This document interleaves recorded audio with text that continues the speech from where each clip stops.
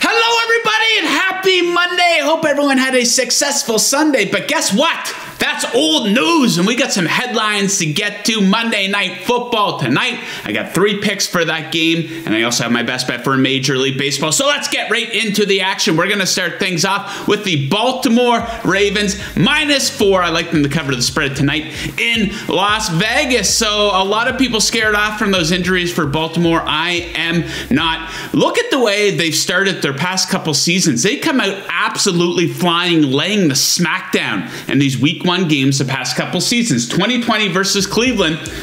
38 to 6 20 2019 versus Miami they won 59 to 10 2018 versus Buffalo they won 47 to 3 2017 versus Cincinnati they shut them out they won 20 to nothing so they come out absolutely flying in these week 1 games and then we take a look at the defenses here, and these stats don't always carry over, right? But I think we can all agree that there's a pretty decent gap between these defenses. Take a look at some of these stats from last season. Fewest points allowed in 2020, that belongs to the Baltimore Ravens. The Raiders allowed the third most. Six in yards per play allowed for Baltimore versus 26 for the Raiders. Opponent third down conversion percentage, second best in the league for Baltimore.